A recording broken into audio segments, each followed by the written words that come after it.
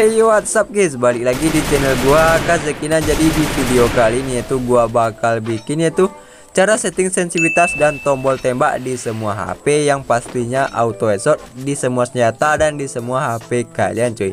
Nah ini pastikan kalian tonton dari awal wow. video ini dari awal sampai akhir biar kalian tuh paham itu cara setting sensitivitas dan tombol tembak untuk oh, kalian tuh yang masih susah headshot cuy.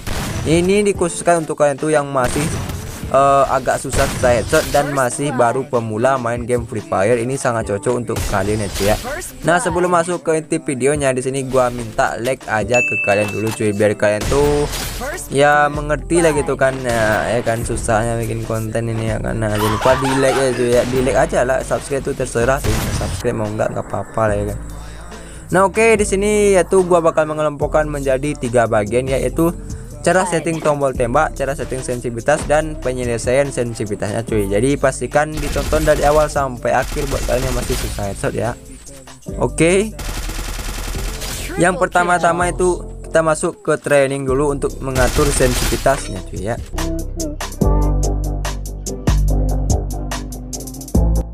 Nah oke okay, jika kalian sudah berada di trainingnya nah di sini kalian bisa tinggal dipilih senjata apa yang ingin kalian cobakan untuk main uh, setting-setting sensitivitasnya cuy? Nah di sini gua pakai shotgun sama Scar dan Desert Eagle ya cuy ya. Nah untuk cara settingnya ini sangat gampang cuy. Pastikan jangan di skip video ini ya. Tonton dari awal sampai akhir biar kalian tuh paham cuy ya. Nah untuk di sensitivitasnya sendiri nanti uh, di sini sensitivitasnya masih kosong ya cuy ya Nah oke okay, di sini yaitu sensitivitasnya masih kosong dan bisa dilihat aimnya itu seperti uh, seperti apa ya. Nah ya kan seperti oh, nah, seperti ini lah aimnya itu ya kan. Nggak mau headshot lah ya kan ya pokoknya jika kalian tuh salah dalam setting sensitivitas itu bakalan susah untuk headshot cuy. Nah di sini yaitu kita pertama-tama yaitu kita setting dulu di custom HUD gue ya. Nah ini seperti inilah custom HUD gue ya. Yang pertama-tama itu untuk tahap pertama kita setting di uh, bagian tombol tembak atau custom HUD cuy. Nah oke okay, untuk di custom HUD di sini gue punya rekomendasi ukuran tombol tembak yang cocok untuk kalian ya. Untuk ukuran tombol tembak yang pertama itu adalah di atas 40 dan di bawah 65 cuy. Nah itu sangat worth it ya cuy ya. Pokoknya di atas 40-an sampai di bawah 65 itu udah enak untuk main pepeng atau main-main main-main headshot lah itu udah enak ya cuy ya. Pokoknya untuk di tombol tembak sendiri jangan terlalu besar dan jangan terlalu kekecilan juga cuy. Jika terlalu besar itu bakalan susah ngontrol aim ya. Usahakan tombol tembak di kalian itu uh, pas lah dengan jari jemari kalian cuy. Nah biasanya untuk di tombol tembak sendiri gua pakai ukuran 58% cuy ya. Nah untuk cara menyetingnya sangat gampang cuy ya. Pokoknya di sini jangan terlalu ke atas dan jangan terlalu ke bawah untuk menyeting tombol tembaknya cuy. Letakkan di area-area yang yang sering-sering sekali kalian pencet-pencet cuy. Semisalnya di sini atau di sini terserah kalian lah ya. Pokoknya asal jangan terlalu ke atas dan asal jangan, jangan terlalu ke bawah cuy. Jika itu terlalu ke atas itu bakal susah untuk ngedrag atau pokoknya letakkan aja di tengah-tengah ataupun di bagian yang sering kalian pencet-pencet ya nah biasanya untuk cara nyetingnya di sini gua kecilkan dulu sampai ukuran 10% cuy. Lalu gua biasanya gua taruh di item loot yang kedua ini cuy ya. Gua ya biasanya ya. Entar kalau kalian ya biasanya gua taruh di bagian sini cuy. Dari item loot yang kedua ini ditarik ke bawah paskan di tengah-tengah layar ataupun paskan di tengah-tengah tombol lompat dan tombol jongkok ini cuy lah. Lalu dibesarkan ukuran tombol tembaknya ke ukuran yang gua bilang tadi ya. Di atas 40 dan di bawah 65 cuy Biasanya gua pakai ukuran 58% ya. Nah, oke okay, jika dirasanya udah pas dan udah udah enak untuk kepencet-kepencet gitu kan. Lanjut kita untuk setting sensitivitasnya cuy ya. Nah, untuk setting sensitivitasnya sendiri itu adalah ada 6 sensitivitas cuy. Yang pertama itu adalah sensitivitas lihat sekeliling, sensitivitas dot sight, dua kali scope, empat kali scope dan sniper scope dan lihat sekitar ya cuy ya ada 6 sensitivitas di sini cuy. Nah, di sini untuk yang sangat berpengaruh guys itu adalah sensitivitas lihat sekeliling cuy. Lihat sekeliling ini berfungsi untuk menggerakkan layar ataupun mengarah-arahkan layar di HP si kalian cuy. Jika kalian salah dalam mengatur ini, ini bakalan susah untuk headset cuy. Nah, di sini gua pakai tombol tembak 58 ya. Terus gua setting di sini gimana pasnya sekiranya gua cuy. Di sini gua punya rekomendasi juga itu untuk sensitivitas lihat sekeliling usahakan gunakan di atas 85% ya. Jika jika lainnya udah pas itu uh, ini kan seperti yang kalian lihat ini masih masih agak nyetak di badan cuy. agak stuck di badan ya. Nah di sini gua tambahkan dua dua ataupun satu per satu ataupun dua per dua sensitivitas cuy. Di sini gua tambahkan dua ya. 85 ke 87 cuy. Oke masih nyestek di badan ya Nah, jika airnya masih nyestek di badan ditambahkan lagi sensitivitasnya cuy. Di sini gua tambahkan dari 87 ke 89 lah ya. Nah, pokoknya seperti itu aja cuy. Jika sensitivitasnya itu nyestek di badan ditambahkan dua ataupun satu. Jika AM itu kelebihan rasa kalian dikurangkan sensitivitasnya cuy. Oke ini uh, kayaknya masih masih agak-agak rada susah ini naiknya ya. Gua tambahkan ke 91 91 aja lah cuy sini cuy nah oke nah di 91 kayaknya ini udah nih Terus mantap nih Wis mantap ini cuy 91 ya. Oh, nggak bisa nggak bisa. Nyestak nyestak nyestak. Ditambahkan lagi dua atau satu cuy. Ini sepertinya udah agak mantap ini. Nah oke di sini gua tambahkan ke 93 lah ya sensitivitasnya ya. Oke, gua gua cobain dulu bentar. Nah ini kayaknya udah terlalu licin ini cuy. Nah, oh masih agak-agak kelebihan ya cuy ya. Nah. Oh airnya itu agak-agak kelebihan cuy ya. Oh masih masih agak kelebihan. Di sini gua kurangkan satu cuy. 92 nice. Oh gila gila. 92 mantap ini. Gila gila. Mantap ini Nah Hmm Hmm Hmm Nah oke okay, di sini untuk sensitivitas lihat sekeliling gua pakai 92 ya. Di sini udah pas ya. Lanjut untuk red dot sack cuy. Gila ini. Nah untuk sensitivitas dot sack ini berfungsi ketika kalian tuh tidak menggunakan scope ya cuy atau bisa dibilang scope satu cuy. Nah di sini gua sarankan kalian tuh pakai aja di atas 80 persenan cuy. Di sini biasanya gua pakai 88 ya cuy ya. Biasanya gue pakai 88 untuk di saya cuy. Ini tergantung pengederakan kalian ya cuy ya. Nah lanjut untuk di dua kali scope cuy. Di sini untuk redot sight sama lihat scaling udah mantep ini ya. Lanjut ke dua kali scope. Kita cobakan di training cuy. Nah di sini untuk di dua kali scope nya gue juga punya rekomendasi yaitu di 85% cuy ya. Oke langsung kita cobain cuy. Nah kita cobain dilihat sekelilingnya juga ya. Sekal sekaligus cuy. Bentar. Sekeliling tadi 92 ya ayo bang. Ah langsung copot. Gila gila.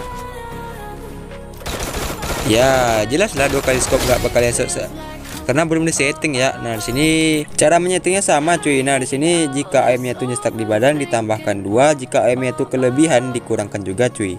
Kayak 87 ya. Jika worth it langsung dicoba cuy ya. Oke kita cobain di 87 Nah udah headshot mantap. Jika worth it langsung dicobain aja ya cuy ya Oke kita pakai 87 lah kita coba ya. Bentar. Nah gila gila. Satu lagi.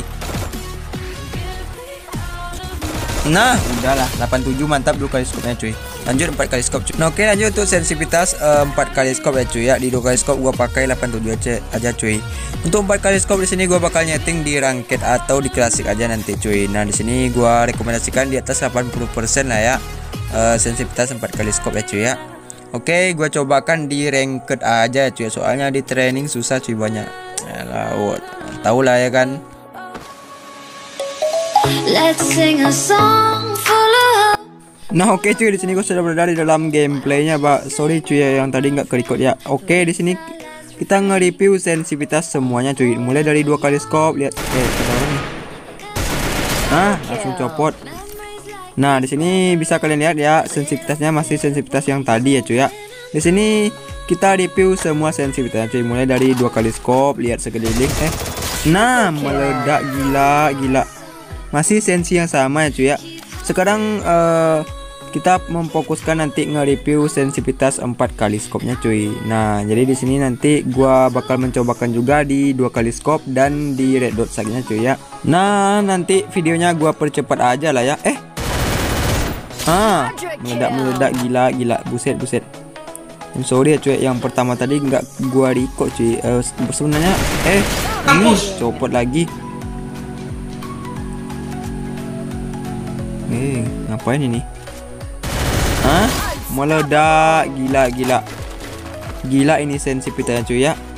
Jika udah disetting makanya jadinya seperti ini cuy.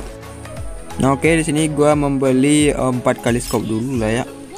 Sekaligus nge-review di sini cuy ya, nge-review sensi yang sudah kita perbuat tadi cuy. Ah, ini ada orang di bawah nih. Eh. Ngapain ini? Hah? Ya elah bang bang. Nah oke okay, untuk di dua kali scope-nya uh, bakal kita cobain juga. Eh, di mana tuh? Eh, bentar. Ah, meledak lagi gila. Nah oke okay, di sini gua sudah membeli empat kali scope-nya cuy. Bentar. Kita cobakan di sekarang ya. Eh. Terorong tuh. Nah, meledak juga. Uh, aduh, ketukar lagi. By the way di sini gua mencobakannya di klasik ya cuy ya, enggak di ranked cuy. Soalnya kalau di ranked itu susah cuy ya. Nah, jadi sini gua review di klasik aja cuy. Musuhnya eh ini enggak bot ya. Nah, kalian bisa lihat cuy, enggak mungkin buat memakai mobil kan. Oke. Oi, masih kesat empat kali skupnya. Bentar, bentar, bentar. Gua setting dulu. Eh, eh bentar, bentar. Nanti ditembaknya berapa? gua setting dulu ke 84 lah cuy eh ke 87 aja lah ya soalnya masih masih kesat cuy ayo lu bang masih kesat juga ntar naikkan ke 89 eh, pokoknya nyetingnya begitu cuy ya jika masih kurang banyak uh, dinaikkan aja terus terus cuy jika kelebihan di, dikurangkan sensitivitasnya cuy nah eh. nyestak di badan. Ntar gua tambahkan ke 91 eh ke 92 lah. Masih banyaknya stuck di badan cuy. Oh. Ini aduh masih nyestak bah. Udah 92 ini. Kita coba naikkan ke 94 lah. Ayo lu bang. Dikit aja bang. Dikit aja bang Eh, masih stuck ini. Mana dia? Aduh, stuck cuy. Bentar bentar. Gua tambahkan lagi 95 lah ya. Nah, 95. Kalau stuck lagi, aduh, ditambahkan lagi pula tuh ya kan. Ayo lu. Ah, udah headshot. Gila, gila. Udah mantap 95 ya. Pokoknya nyetingnya begitu cuy. Jika masih kurang, ditambahkan satu atau dua sensitivitas. Jika kelebihan rasa kalian itu di, di kepala musuh dikurangkan juga satu atau dua sensitivitas cuy. Oke lanjut kita nge-reviewnya ya. Mana nih lagi nih. Gua sekaligus nge-review empat kali skopnya nih. Nah gila gila. Empat kali skopnya cuy. 95 ya. Di atas nih kayaknya juga ada orang ini kayaknya cuy nah ya kan ah tarik dikit aja pasti copot cuy Dileknya apa? Eh, belakang. Hah? Bentar, bentar, bentar. Mari kita dulu nih.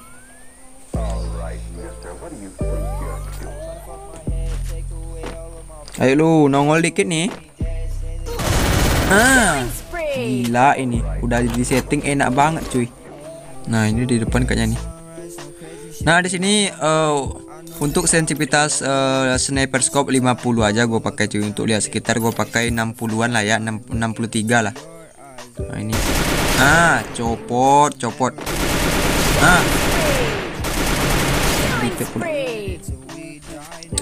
ayo. Mana lagi nih? Eh dari atas woi ya eh lah mati cu cu dah lah cuy di sini sebelum masuk ke videonya di sini gua mau ngenalin satu aplikasi yang bernama Gear Up Buster cuy. Aplikasi ini bisa mengatasi jaringan lag dan, dan patah-patah di HP kalian cuy ya. Nah, caranya itu kalian bisa klik link yang ada di deskripsi untuk mendownload aplikasi tersebut cuy. Nah, misalnya di sini gua mau ngeboosting uh, game yang ingin gua boosting cuy. Contohnya Free Fire Max cuy ya.